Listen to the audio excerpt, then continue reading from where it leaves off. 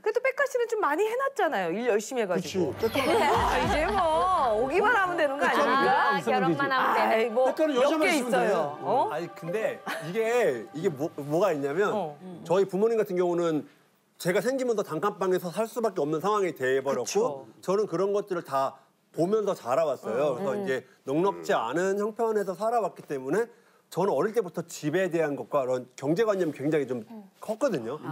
제가 이제 그 출신이 또 이태원 출신이에요. 근데 지금이야 뭐 문화 도시지만 예전에는 굉장히 조금 형편이 안 좋은 친구들이 많은 그런 동네였는데 거기 살 때부터 저는 돈을 벌어야겠다는 거 어릴 때부터 생각을 했어요. 그래서 초등학교 때 4학년 때인가 동네에 이제 신문 하- 배달하는 데 있잖아요. 네. 학교 끝나고 갔어요. 그 예전에는 석간이라고 해서 예, 아침에 말고 오후에 배달하는 게 있었는데 그래서 이제 갔죠. 그래서 저 신문 배달하러 왔는데 했더니 가 막 이러는 거예요. 어르신들이. 그래갖고 아 진짜 일 시켜달라고. 그랬더니 그 저희 그 이태원 보광동에 아파트가 하나 있어요. 네. 거기 그럼 115부를 돌리는 거를 해주겠대요 석관을. 그래갖고 4학년 때 그거 일을 한 달 동안 이제 했더니 근데 그 당시 때 한 6만 원, 7만 원을 번 거예요. 네, 그러니까 이제 저한테는 그때 6, 70만 원 정도 되는 초등학생 돈이었는데 그거를 이제 엄마한테 갖다 드리니까 어머니가 놀라신 거예요. 엄마한테 갖다 드렸어요? 네, 왜냐면 어, 네, 그때는 그냥 당연히 그래야 되는 줄 알았으니까 그리고 집이 어려웠으니까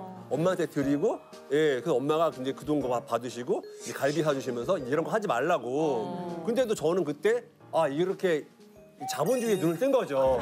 내가 움직이니 돈이 야. 네, 돈이 된다. 그래서 어. 그때부터 사실 돈을 계속 모았어요. 그리고 데뷔하고 나서도 사실 저는 국산 차를 계속 예전부터 타던 차를 계속 탔고 멤버들은 이제 좋은 차를 타고 뭐 그랬지만 저는 계속 그랬고 저는 불과 5년 전까지도 사실 그 천에 80만 원짜리 월세 살았었어요. 5년 전까지요? 네, 왜냐면 저는 돈을 계속 모아놓고 있는 거예요. 아파트도 세 채 정도 사놓고 그러고서도 저는 제가 그렇게 버는 거를 제 티내거나 그러지 않고 계속 그냥 그 집에서 5년 전까지 살다가 이제 40대가 되면서 어 나는 이제 이 정도 했으면 됐다 싶어서 제 걸 이제 그때부터 이제 펼치기 시작한 거죠. 그러니까 이제 주변에서 야 너 뭐야? 뭐야 로또야? 어 너 뭐야 이렇게 된 거죠. 그러니까 이제 그때 탐욕과 허영심에 이제 가득 차가지고 아 그때 그 아티스트 병 걸려 있을 때 끝나고죠. 에스프레소 네, 마시면서 끝나고 어. 차부터 차를 사러 갔어요. 부릉부릉 네. 이렇게 그- 열리는 차던 거예요 이렇게? 아니 그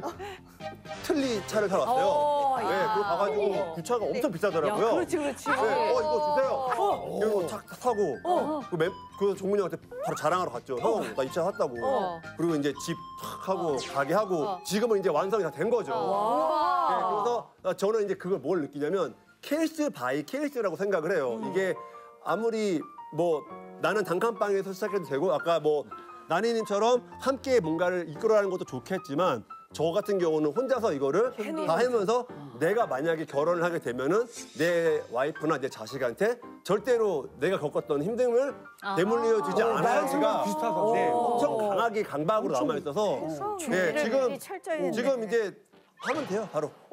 이제 하면 돼요 바로. 오, 야, 아, 멋있다.